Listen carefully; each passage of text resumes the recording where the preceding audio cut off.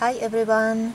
Today I want to show you hawk's beard, which is in dandelion family. It grows here in Florida. Uh, we don't have typical dandelion bushy flowers and big leaves, but we have a, hawk's beard, which is also dandelion family.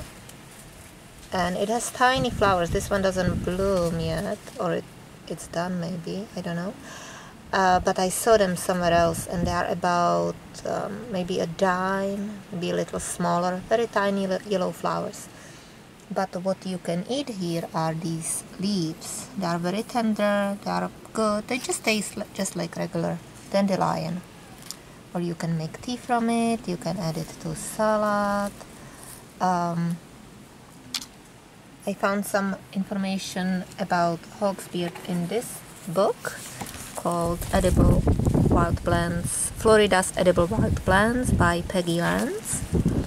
And she's talking here about beard.